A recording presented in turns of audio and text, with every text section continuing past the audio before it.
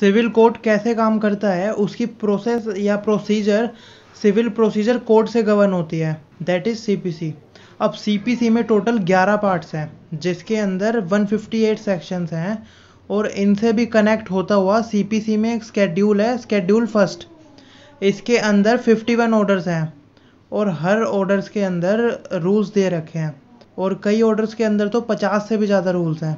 अब जो ये 158 सेक्शंस हैं, वो सब्सटेंटिव पार्ट हैं सीपीसी का। और जो ये 51 ऑर्डर्स हैं, ये प्रोसीजरल पार्ट है सीपीसी का। तो आज का हमारा टॉपिक यही है प्रोसीजर ऑफ़ सिविल कोर्ट अब सपोज़ बंटी को रिलीफ चाहिए चिंटू से। अब बंटी को सबसे पहला काम करना पड़ेगा कि उसे प्लेंट तैयार करनी होगी। अब प्लेंट तैयार करने के लिए उसे इन दोनों ऑर्डर्स की हेल्प लेनी पड़ेगी। दैट इज़ ऑर्डर सिक्स और ऑर्डर सेवन अब प्लेंट तैयार करके वो कोर्ट में फ़ाइल करेगा। और अगर प्लेंट एडमिट कर दी कोर्ट ने तो ऑर्डर फोर के तहत बंटी का केस इंस्टीट्यूट हो जाएगा। अब इंस्टीट्यूट होने के बाद जिसके अगेंस्ट सूट फ़ाइल किया गया है बंटी ने दैट इज़ चिंटू कोर्ट उसे भेजता है समन। अब समन दिया है ऑर्डर फाइव में।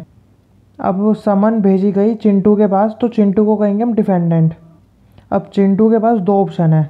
पहला तो है कि वो समन के जवाब में, वो कोर्ट में रिटर्न स्टेटमेंट जमा करा सकता है। रिटर्न स्टेटमेंट फ़ाइल होता है ऑर्डर एट और ऑर्डर सिक्स के अकॉर्डिंग और ऑर्डर सिक्स प्लेंट में भी यूज़ होता है और रिटर्न स्टेटमेंट में भी। अब या फिर चिंटू के पास दूसरा ऑप्शन है कि वो कोर्ट में अपियर ही ना हो। अब इसका इफ़ेक्ट दिया है ऑर्डर नाइन में। अब सपोज़ चिंटू कोर्ट में पेश हो जाता है। अब कोर्ट के सामने पेश होगा तो चिंटू का कराया जाएगा examination that is order ten के अकॉर्डिंग और ये एग्ज़ामिनेशन प्लेंटिव का भी होगा मतलब बंटी का. अब ये एक तरीके से ओरल एग्ज़ामिनेशन होता है. इसमें कोर्ट का ऑब्जेक्टिव होता है, जितने भी सूट में फैक्ट अराइज हो रखे हैं, उन्हें सोर्ट करना कन्फाइन करना. फॉर एग्ज़ाम्पल जब बंटी ने प्लेन फ़ाइल करी होगी तो उसने जितने मैक्सिमम से मैक्सिमम ग्राउंड हो सकते हैं डिस्प्यूट के, वो सारे लिए होंगे. अब उसमें से जब रिटर्न स्टेटमेंट आएगा, चिंटू की तरफ़ से तब पता चलेगा कि उसमें से आधी बातें तो सही नहीं थी। अब होता क्या है एक्चुअल में कि रिटर्न स्टेटमेंट जब सामने से आता है तो वो बंदा कहता है कि रिटर्न स्टेटमेंट में कि this fact is admitted this fact not admitted या ये फैक्ट गलत तरीके से बताया गया है। वो पूरा का पूरा वहाँ पे एक्सप्लेन करता है। तो उससे आधे तो इश्यूज़ यहीं पे सॉर्ट हो जाते हैं। और फिर एग्ज़ामिनेशन जब कोर्ट करता है तो इश्यूज़ और कन्फाइन हो जाते हैं। पता चलता है कि कितने जेनवन इश्यूज़ हैं। और फिर भी कोर्ट को लगता है कि पार्टी ने कुछ फैक्ट छुपाए हैं। तो वहाँ पर ऑर्डर 11, 12, 13 और 19 की मदद से वो कमी भी पूरी की जाती है। पार्टीज़ ने जो फैक्ट कोर्ट को नहीं बताए और कोर्ट को लगता है कि ये तो बाहर निकलवाने ज़रूरी हैं तो वहाँ पे ऑर्डर 11 आता है। डिस्कवरी या इंस्पेक्शन वगैरह करवाना। ऑर्डर 12 आता है एडमिशन करवाना। ऑर्डर 13 आता है चीज़ों को पेश करने के लिए कहना।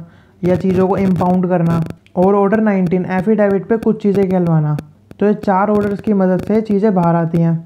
और जब सारी चीज़ें बाहर आ जाती हैं, फिर हम पहुँचते हैं ऑर्डर चौदह पे। यहाँ पे मेन इश्यूज़ फ्रेम होते हैं।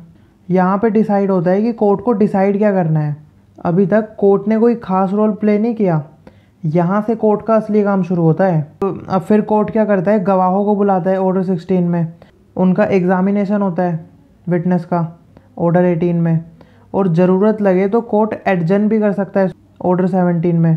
अब इन सबको इस्तेमाल करते हुए फाइनली पहुँचता है कोर्ट ऑर्डर ट्वेंटी पे that is judgement and decree अब जजमेंट के बाद अगला स्टेप होगा या तो ऑर्डर इक्कीस एग्जीक्यूशन का, या एग्जीक्यूशन नहीं होगा तो पार्टी अपील करेगी। अब अलग अलग अपील का प्रोसीजर दे रखा है ऑर्डर 41 से ऑर्डर 45 तक। अब ये पूरी प्रोसेस है सिविल कोर्ट कैसे काम करता है? अब ये प्रोसेस हर सूट में सेम ही रहती है। For further videos of C P C you can click on the playlist